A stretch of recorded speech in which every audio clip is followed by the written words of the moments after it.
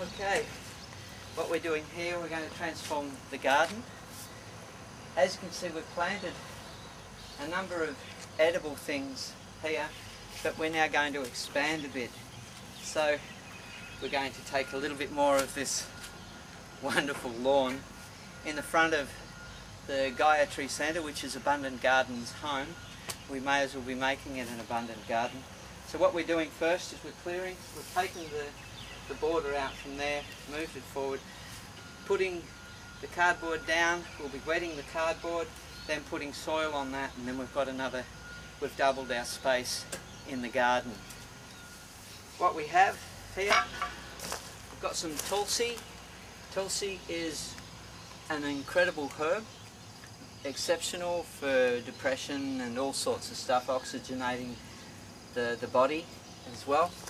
We've got sweet leaf, which is a wonderful green, very, very um, nutritious greens. We've got, um, well, some pineapple tops, which are, are, just starting to take off. We've got cacao, okay, or people, some people know it as cocoa, but it is cacao.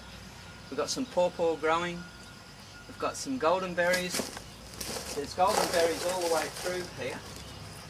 And if we're lucky, yeah, there is, there's lots of berries lots of the wonderful golden berries.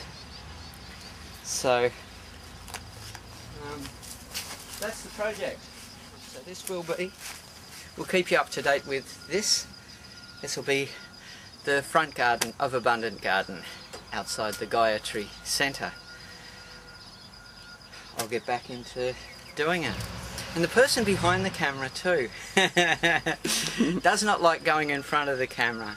Now, that, that's that's uh, that's Heather, and there's no way that I would have been able to get any of this going, or that we would have been able to get any of this going, abundant garden or anything, without her.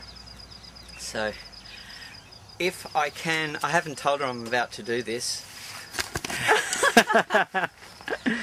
okay. Hello. nice. So That's this is the uh, the face behind the camera sometimes, and this is also the face behind the abundant garden uh, food and everything else that we're we're bringing forward to you as well. So finally. I'll now give the camera back. Thank you. Very kind. Okay. Very kind. This is part of it. This is the garden out the front of the Abundant Garden Centre, which is the Gaia Tree Centre up in far north Queensland. I'll get on with it instead of going off.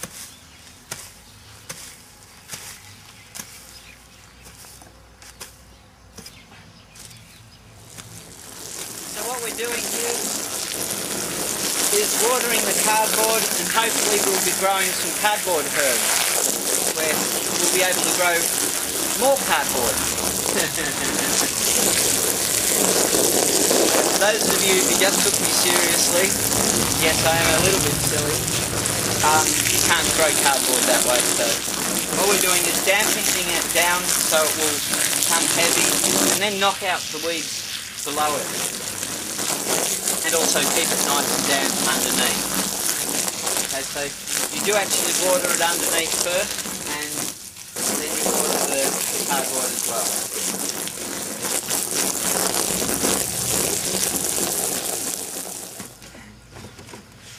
So we really are recycling the cardboard. Um, instead of putting it into a, a waste there, we're going to put it into our garden instead. And as you can see here, we've doubled the garden. Perhaps something that you can do very easily at home as well. As you can see, the, the cardboard here gets soggy very quickly that will break down, but it knocks the weeds out. Some old cacao pods. Fantastic fertiliser, a good compost. Exceptional compost.